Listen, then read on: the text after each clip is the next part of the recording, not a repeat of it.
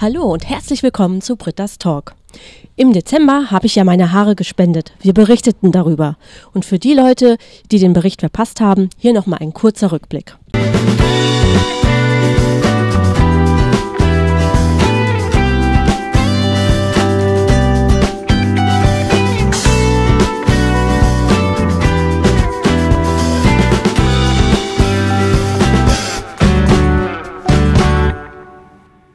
Nach dem Bericht gab es einige negative Aussagen. Da dachten wir, wir gehen der ganzen Sache doch nochmal genauer auf den Grund. Und deswegen haben wir bei haarespenden.de angerufen und Max Rieswick, der Perückenmacher, war sofort bereit, uns Rede und Antwort zu stehen. Ja, und so sind wir jetzt hier vor der Rieswick Zweiter Manufaktur und ich würde sagen, wir gehen jetzt rein. Und euch nehmen wir mit.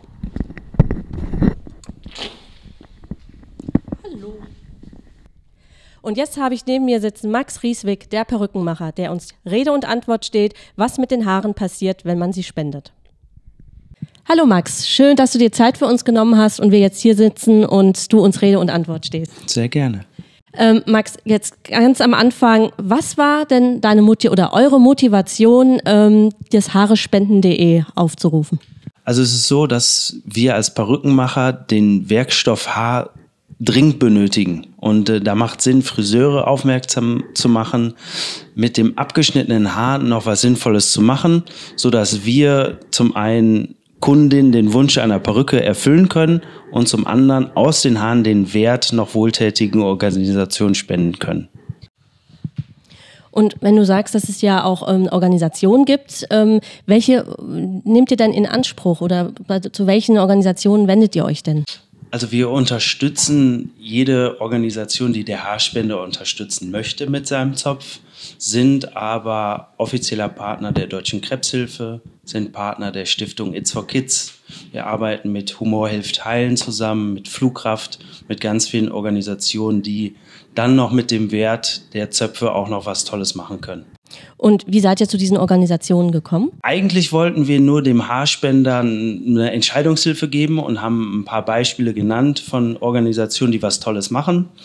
Ähm, die Deutsche Krebshilfe ist einfach eine sehr bekannte Stiftung, eine sehr breit gefächerte Stiftung.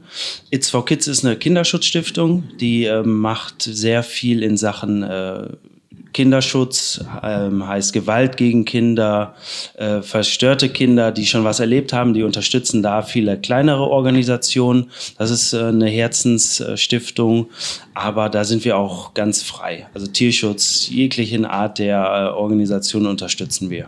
Wie funktioniert der Ablauf, wenn jetzt die Haare hierher kommen und dann zur Perücke geknüpft werden? Ja, also der erste Schritt ist, das Haar kommt an. Wir gucken uns jeden einzelnen Zopf an, bewerten diesen nach Länge, nach Farbe, nach Struktur, nach Qualität.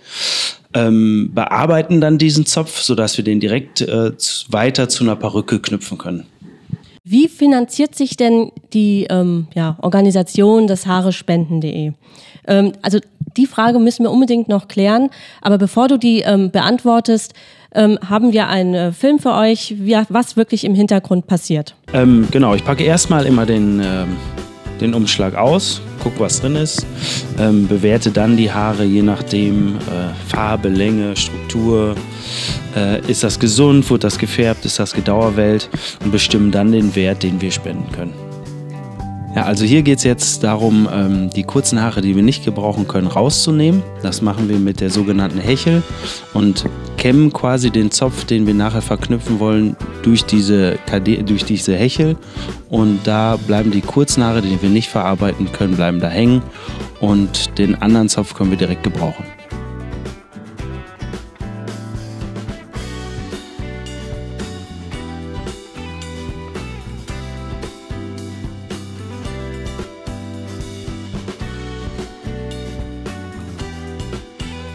Also hier knüpfen wir jetzt. Beim Knüpfen geht es darum, das Haar in die Montur zu verknoten. Und das macht man mit einem doppelten Knoten.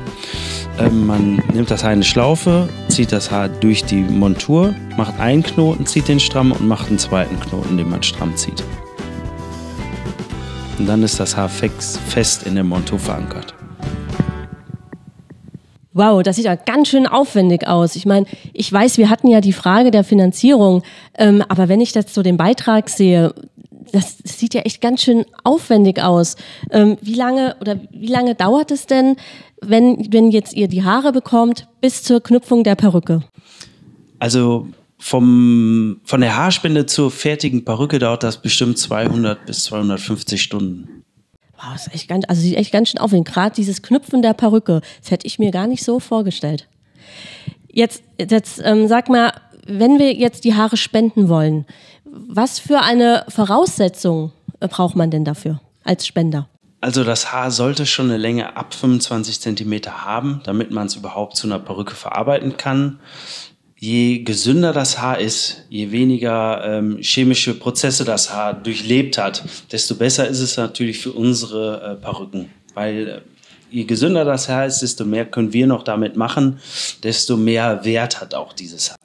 Das heißt, die Haare, die werden gar nicht gebleicht und nochmal neu gefärbt, was ich ja mal gehört habe, sondern die werden wirklich so verwendet, ähm, wie sie gekommen sind. Genau, im besten Fall verarbeiten wir das Haar so, wie es vom Kopf geschnitten wurde, weil dann ist es am gesündesten.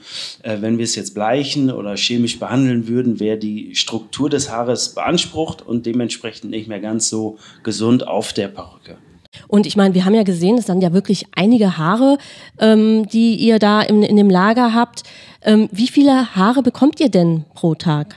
Ähm, ist natürlich immer unterschiedlich, aber an, an Spitzentagen sind es dann schon 100, 150, 200 einzelne Spenden pro Tag. Wow, ganz schön viele. Und wie viel braucht ihr, um so eine Perücke zu knüpfen? Ähm, pro Perücke, das hängt natürlich damit zusammen, wie dick ist der einzelne Zopf, brauchen wir schon drei bis fünf einzelne Haarspenden für eine Perücke. Okay, und, und ihr knüpft die dann auch teilweise zusammen? Genau, wir mischen äh, die einzelnen Zöpfe dann ineinander, dass eine homogene Masse, eine homogene Haarmasse äh, ergibt und dann verknüpfen wir das in die Perücke. Und ich meine, ihr, ihr, macht das ja auch wie haarespenden.de für Bedürftige. Ähm, was sind denn da jetzt so die Voraussetzungen ähm, als Bedürftiger, um so eine Perücke zu bekommen? Also wir als Manufaktur, als zweiter Spezialist haben uns auf den medizinischen Haarersatz spezialisiert. Das heißt, unsere Kundschaft ist immer aufgrund von einer medizinischen Situation bei uns. In den meisten Fällen aufgrund von einer Krebserkrankung oder Alopecia areata, das ist der kreisrunde Haarausfall, Verätzung, Verbrennung, Schädeloperation. Das sind so die Gründe, warum die Kunden zu uns kommen. Und wenn ein Arzt attestiert, dass da aufgrund einer medizinischen Situation zwei Tage erforderlich ist, dann äh, kommt auch der Kunde, der Patient zu uns und bekommt dann auch eine Perücke ausgespendeten Haaren. Das heißt, es läuft dann über den Arzt oder kommt er der Bedür also der Bedürftige quasi dann zu euch? Ähm, da die Krankenkassen einen Teil dazu zahlen äh, zu der Perücke, kommt der zu uns, bringt aber vom Arzt das Rezept mit. okay. Und ähm, wie ist das jetzt bei den Kindern? Gibt es da jetzt auch oder, oder wie, wie sucht ihr die aus oder läuft das dann genauso? Also alle Kinder, die eine Perücke benötigen, bekommen eine Perücke von uns zuzahlungsfrei. Das heißt, sie bekommen aus den gespendeten Haaren von uns gebauten Perücken zuzahlungsfrei. Also die Krankenkasse zahlt einen Teil dazu. Je nach Krankenkasse ist dieser Anteil aber unterschiedlich. Und das sind auch die einzigen Kosten, die getragen werden. Also die Familien, die Kinder müssen nicht zusätzlich zum Krankenkassenanteil noch was bezahlen. Das heißt, sie kriegen das dann quasi frei, müssen nur, also zahlen eigentlich nur Krankenkassen Beitrag wie alle anderen auch und dann kriegen sie einfach die Perücke. Genau. Und wie teuer ist eigentlich so eine Perücke? Ich meine, wie gesagt, ich hab, wir haben das ja gesehen. Es ist ja schon wirklich eine Heidenarbeit, das, die herzustellen. Also man unterscheidet zwischen Kunst- und Echthaarperücken. Manchmal ist eine Kunsthaarperücke auch der, ich sag mal, der beste, äh, die beste Perücke für den bestimmten Fall. Die fangen bei 250 Euro an und sind bis zu 950 Euro. Und die Echthaarperücken fangen bei 1500 Euro an, bis je nach, je nach Haarlänge, je nach Verarbeitung 4500 Euro. Wow. Und ähm, wie funktioniert das dann? Also, Sie kommen dann hierher, geben das Attest ab und sagen, Sie hätten gerne eine Perücke. Und wie läuft das dann ab? Ähm, für uns eigentlich das Wichtigste, dass wir den Kopf abmessen. Wie groß ist der Kopf der Kundin oder des Trägers hinterher?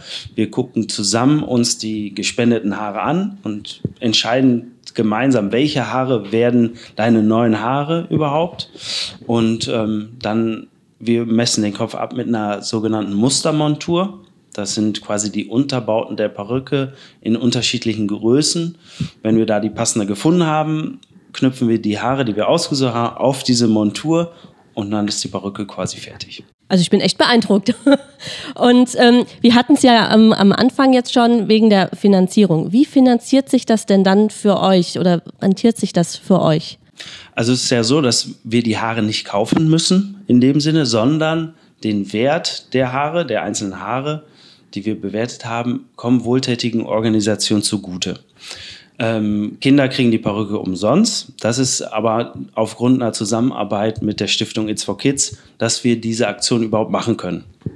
Genau. Und da die Krankenkasse immer einen Teil dieser Perücken zahlen, können wir überhaupt die Haarspendenaktion weiter fortführen. Wo kann man sich denn jetzt nochmal hinwenden, wenn man ähm, die Haare spenden möchte? Genau, auf unserer Website haare-spenden.de. Ähm, da sind alle Infos, wie man spenden kann, warum man spenden sollte und auch wo man spenden kann. Da sind viele ähm, Partner, Salons aufgelistet und da kann man einfach gucken, wer ist der nächste Salon, hingehen, Haare schneiden und dann schickt entweder der Friseur die Haare zu uns oder man macht das selbst. Ich würde auch sagen, Leute, ihr wisst jetzt, was passiert mit den Haaren. Ähm, sie kommen wirklich an, wo es gebraucht wird. Und ich würde sagen, spendet eure Haare. Vielen herzlichen Dank für deine Rede und Antwort stehen und für deine Zeit, ähm, die wir hier verbracht haben. Sehr gerne. Das war Brettas Talk. Ja, hallo, das war's auch schon mit unserem Beitrag. Ich hoffe, er hat euch genauso gut gefallen wie mir. Und wenn ihr informiert bleiben wollt, wisst ihr ja, einfach nur liken und abonnieren. Und ganz wichtig, oben die Glocke drücken. Und schon seid ihr wieder dabei, wenn es heißt, herzlich willkommen zu Britta's Talk. Ich würde mich auf jeden Fall sehr freuen, euch wiederzusehen. Bis dahin macht's gut und bleibt gesund.